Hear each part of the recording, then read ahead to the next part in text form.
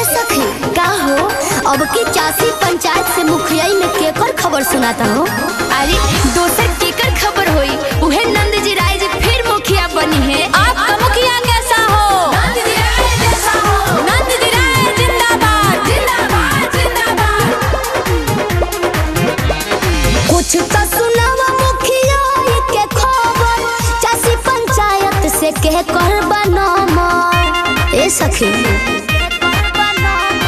कुछ तो